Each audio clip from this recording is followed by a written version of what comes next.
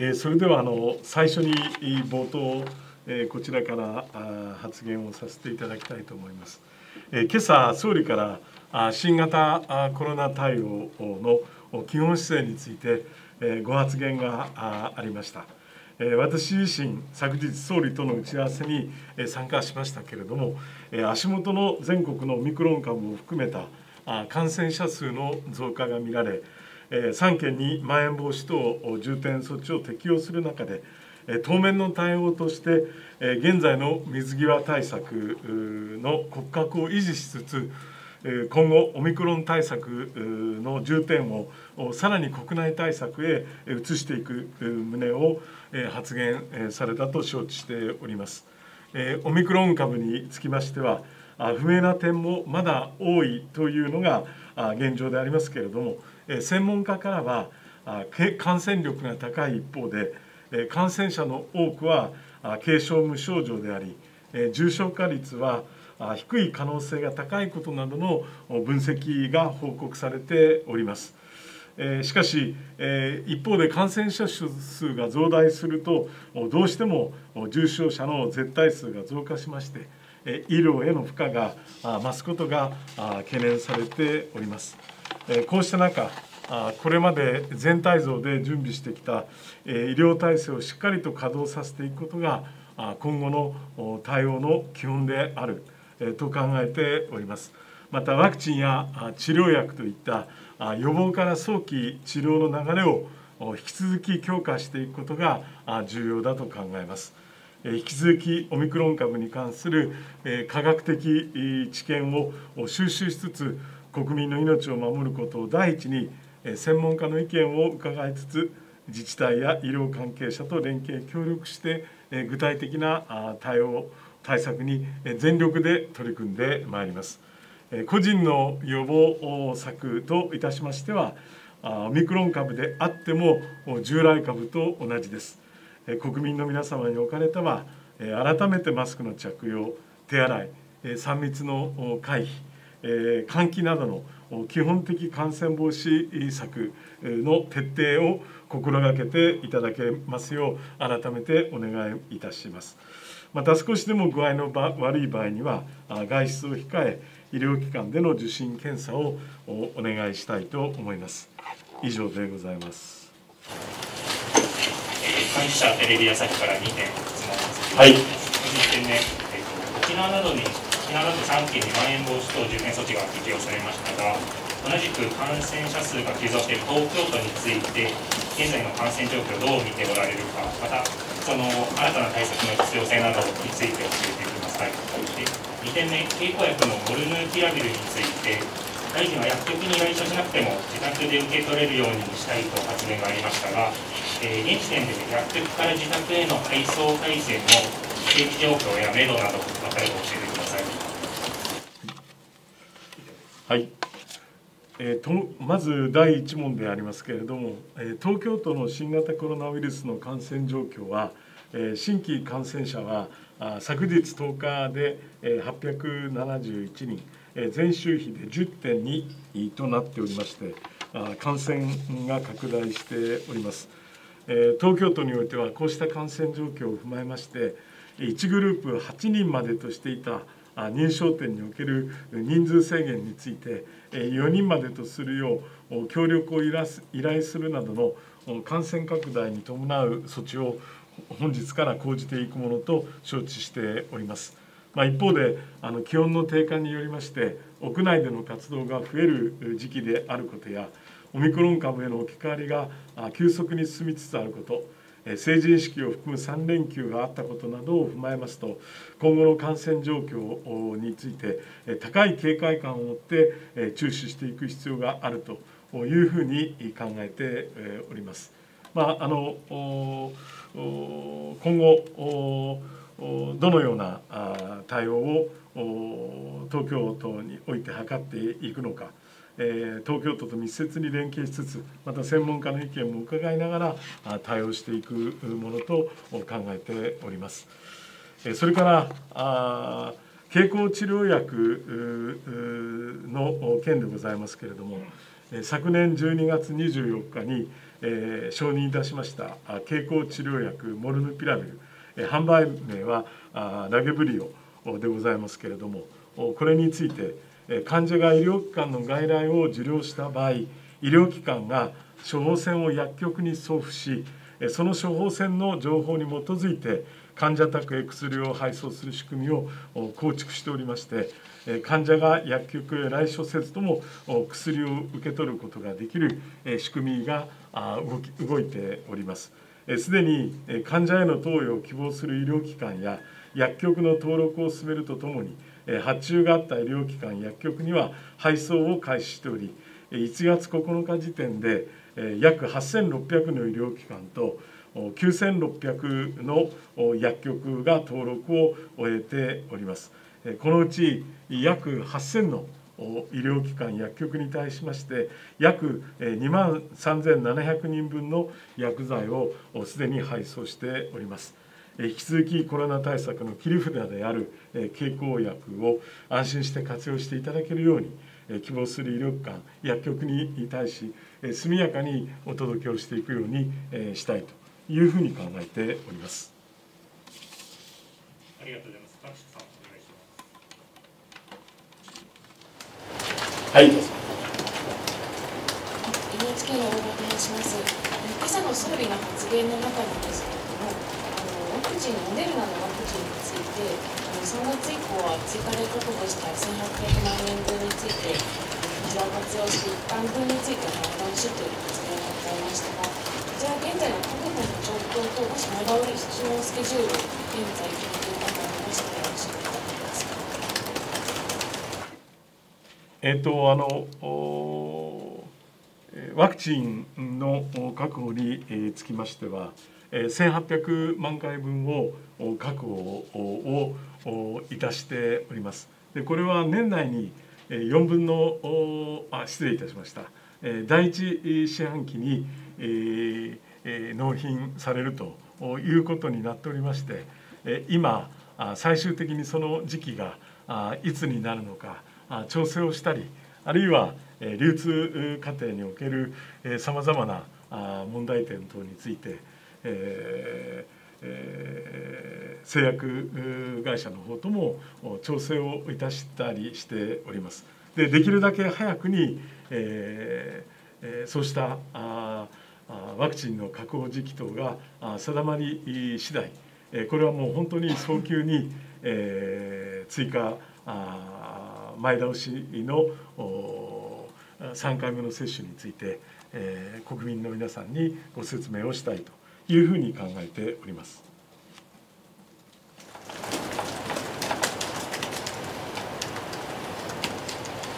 はいどうぞ。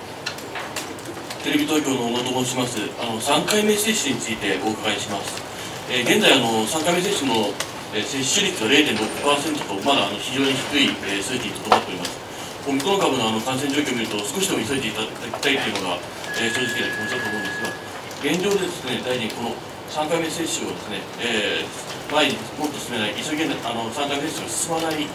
その要因ネックとなっているものは何一番何がネックになっているとお考えなのかえー、それとですねあの岸田総理があの大規模接種会場の設置のあの意向を示されましたがその大規模接種会場を設置することによってですねこの状況というのは大きく改善することができるのでしょうかそのことについて大臣の考えをお聞かせください。はいあのまず今ご指摘のあったように新型コロナワクチンの3回目接種、えー、接種実績が1月7日公表時点で0.6%に全人口に占める割合がとどまっているのはあのご指摘の通りです。であのそのことにつきましては参加、まあ、まずはあの本当にできる限り地方公共団体の皆様に体制の整備をご協力をいただきまた医療関係者の皆様にもご協力をいただきながら国としても最大限のメッセージを国民関係者の皆様に送ってできる限り早い特にリスクの高い高齢者への3回目のワクチン接種進めていきたいというのが国の姿勢でございます。であの3回目接種につきましては、まあ、年末から開始しているわけで、えありますけれども、まあ、あの地方公共団体の中には年明けから本格的に開始することを考えていた自治体も多いというふうには聞いております。またあの3回目接種については2回目接種完了から一定の間隔で接種を行うということで、まあ、当初12回目の接種においてペースが上がらなかった時期については前倒しのスピードが例えば100万回打てたじゃないかというような時に比べれば遅かったということはありますけれども、まあ、いずれにしても今最大限引き続き自治体の取り組み状況等を把握しながら適切に、我々の方からも助言を行ったりあるいはあぜひとも推進をしていただくように、えー、お話をさせていただきながら今総理があからの発言のご指摘がありましたけれども各都道府県における大規模接種会場の設置や接種場所のさらなる確保などを通じて、まあ、ペースアップを要請していくとそういうことをあのしっかりと取り組んでいきたいというふうに思います。まあ、自治体と緊密に連携し今後本格化する3回目接種の着実な実施を期してまいりたいと思っています。まあ、大規模接種会場の設置につきましてはえー、設置場所のサウナの確保などともあのこれはあの同じ話でありますけれども、えー、ともかくそのあらゆるチャンネルを利用して、えー、早期に3回目の接種を行っていく、え、その、まあ、体制整備の一つの起爆剤としてしっかりそういうことにも取り組んでいくというふうに考えております。ではあの今遅れている今あのネックとなっているのはまあ、ワクチンの確保とかあの配達のロジとかであって一番厳しいのはやはり自治体の準備が追いついていないという認識なんですか？あのすでに、えーえー、4700についてはあの自治体の方に、え、ワクチンの方をお送りしているわけでありますしあの12月、えー、1月の分について言えばこれはあの在庫分からあのすでにえ12月にはお送りをしている、えところであります。えですからあ少なくともこの前倒しを決めた分について言えば、まあ、体制が整えばどんどん800万回分やっぱり打てるようにしていく必要があるというふうに考えています。まあ、前倒しを決めたのが12月ということでも、えありますのでそれはあの関係者それは自治体の接種場所についても接種体制についてもまたあの接種票の送付についても、まあ、遅れているところもあろうかと思います。あの接種票などについては、えー、届いていなくてもですね、えー、これはああ接種をしていただいて、え後で、えきちんと報告をしていただければいいということもお願いをしておりますし、まあえいろんなあチャンネル含めて、えしっかりと準備体制を整えていくことだというふうに思います。はいどうぞ。TBS テレビの中大変です。今のに関連して、まあ、大臣あらゆるチャンネルを使って3回目接種を進めていきたいとおっしゃっていたと思うんですけども、まあ、ワクチンの確保状況にもよると思いますが、職域の前倒しについては、現状、どう認識されていますでしょうか？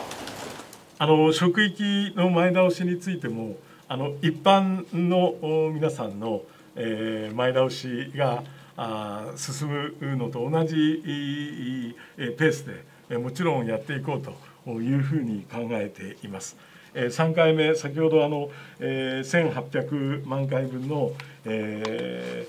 追加購入があ昨年末できたというお話をいたしましたけれどもあの今あの早急にその詳細をお示すしようするというふうに考えておりまして、まあ、その中で、えー、職域接種についても、えー、しっかり対応を図っていきたいと考えております。どうぞ。産経新聞の横中と申します。えっと、ちょっと話題は恐縮なんですが、えー、総理が、えー、17日召集予定の国会で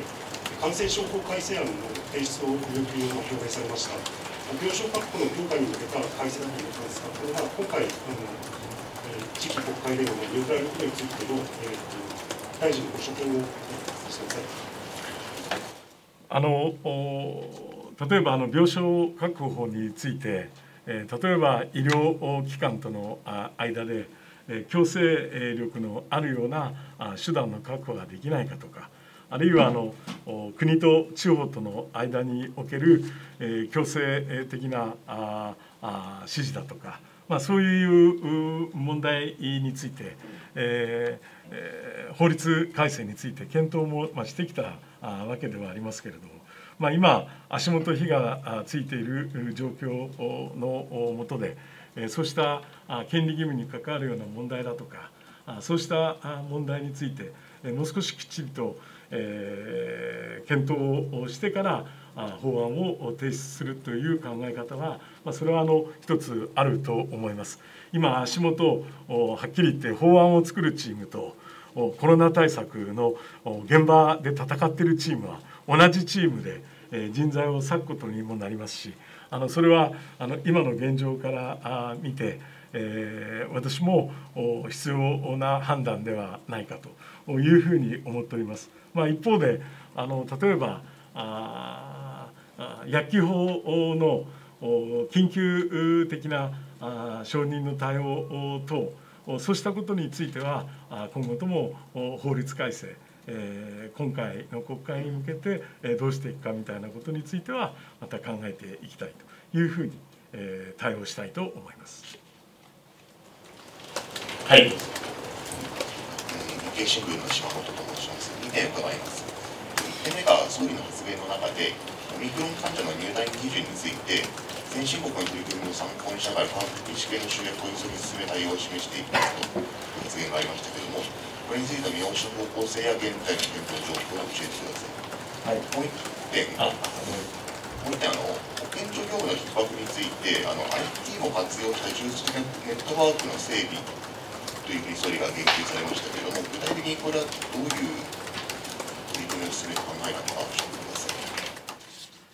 えー、まずあの入退院基準で、えー、ありますけれども、まずあのこの医療提供体制について言えばあの全体像に示した医療体制を確認強化していくとでこれがあまず今後の対応の基本だというふうに、え思っています。えー、各都道府県に点検を今依頼しておりますけれども病床を順調に確保在宅宿泊療養は計画をさらに上回る3割を上回る体制を確保いたしております。ただし今後例えば今大変足元でオミクロン株の感染の拡大が続いておりますけれども感染がこうした全体像に示した想定をさらに超えて急拡大した地域等においてはやっぱり重症者の数が増えていくということは予想をされます。病床が逼迫するような緊急事態がま、発生した時に、まあ、緊急事態に陥ることをまあ極力避けていくということから考えれば例えばあのオミクロン患者の入退院基準などについても諸外国の例も参考にしつつ例えば科学的知見で、えーの検討を進めることによってそれに基づいて入退院基準等を考えていくということも検討すべき課題であると考えています。あの例えばすでに今でもですねあのオミクロン株が陽性になった時に、えー、全員入院入院しなくてもいいとかあるいは、えー、これまで、えー、2回陰性がえ検査で確認されない限りは退院ができない扱いであったものを発症後あるいは採取後に10日間経てばえワクチン接種者のみでありますけれどもえ退院ができるというような取り扱いもしてきております。でこうした取り扱いは、まあ、科学的知見から見てえそういう取り扱いをしても実質上感染拡大への懸念やそうした問題から問題が生じないという判断でやってきたものでございます。まあ、今後ともですね先ほど繰り返しになりますけれども、まあ、先進諸国の取り組みやあるいは科学的知見に基づいてどういうことなら可能であるかということを踏まえながらそういう入退院基準の見直しも検討していくということだというふうに思っています。それから保健所の業務でありますけれどもえオミクロンの高い感染力を考えますと感染者数が急増する可能性は非常に高いわけで各種の調整にあたる保健所自治体業務の負荷が非常に重くなるということは予想されます。でこのためあの保健所の体制をま強化していくということで各都道府県や医療関係者と緊密に連携してワンチームでまあ、保健所だけに頼らない重層的なネットワークの整備を早急に進めていく必要があるというふうに考えています。でそういう保健所に頼らない重層的なネットワークということの中には例えば保健所を経由せずにオミクロンを発見した医療機関で診療を早速開始するだとかいろいろその保健所をこれまで必ず経由してきたいろんな対応をもう少し感染が拡大をした場合には新たな保健所に頼らない対応を進めていくということも可能だろうと思います。それからあの保健所自身についても例えばあの科学的根拠に基づきまして積極的疫学調査をまあ、重点化して、えー、感染状況が高まった時にその合理化をしていくこと。それから必要性の低下した例えば全ゲノム解析みたいなものについて言えばこれを、えー、業務を合理化するというようなことで、まあ、保健所の業務の合理化も図らあの図りながらオミクロン患者への対応に保健所が最大限え有効に、え対応できるように、え注力できるようにそういう体制を作っていく必要があるというふうに思っています。はいどうぞ。すみません読売新聞のように申します。ちょっと話題変わるんですが、あの国内で2016年以降に少なくとも11病院であのコンピューターウイルスのランサムウェアによる被害を受けたということがあの弊社の調査でも明らかになりましたこの他の都立の2病院でも攻撃対象として名指しされていることも分かっています。医療機関へのサイバー攻撃が激化している現状の受け止めをお伺いしたいと思います。あと被害事実が判明しているこうした医療機関氷山の一角の可能性もありそれ以外に被害が広がっている可能性もあるため厚労省として実態把握の調査ですとか新しい対策を行うお考えだと聞かせください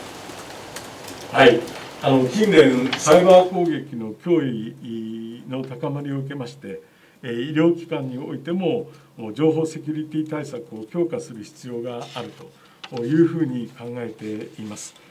厚生労働省においては医療情報システムの安全管理に関するガイドラインを2018年10月に定めまして医療機関等に対しまして技術的運営管理上の観点から必要な対策の遵守を求めているとともにこの10月以降このっていうのは2018年10月以降医療機関において発生したサイバー攻撃事案については厚生労働省への報告を求めています。あの11病院のうち7病院についてはこの報告を受けているところです。で今般の病院へのサイバー攻撃の被害の中で特に診療が長期にわたって数ヶ月間システムが使えないというような形で制限された事例があったことから全国の利用機関に対し注意喚起を行ったところです。そして、ま、今後さらに脆弱性が指摘されている危機への対応あるいは電子カルテ情報のバックアップ体制が適切に行われているかどうかといった問題について全国の病院に対する実態調査を行う予定でありまして、まあ、それを踏まえて必要な対策を講じていきたいというふうに考えています。はい、どうぞ。時間の都合で次でラストでお願いいたします。すみません、えー、テレビ東京のです。あの先ほどのあの保健所のですね、えー、体制強化の件で、あの積極的疫学調査のところはちょっと少しあのよくわからなかったのですが、重点化というのは、あの積極あの積極的疫学調査にさらにリソースを割いて集中していくということなのか、それとも必要な地域、時期に限定して行って、えー、ある程度必要性が薄めなったところは全体の地域のサーベランスの方に力を入れて、個々の積極的疫学調査はあまりやらなくすると、えー、そういったことなのか、これどちらなんでしょうか？あの例えばあの感染が起きた時に、まあ、誰にうつしたのかとかあいうような調査っていうのはこれはあの必要だというふうに思いますけれどもあの要はあの積極的疫学調査をその全てのことに対して後半にやっていくっていうことではなくてやっぱり本当に必要な部分に重点化していくと先ほどコメントした内容は積極的疫学調査の重点化というあの合理化の脈絡でお話をしました。ただもちろんどういう人にうつしているのかみたいなそういう調査についてはこれはもうしっかりやっていかなきゃいけないことは当然でありますけれども、まあ、全般的な疫学調査を限られた人数でやり続けるということは難しいという、まあ、そういう趣旨とご理解いただきたいと思います。時間の都合でこれで終了とさせていいですね。ありがとうございました。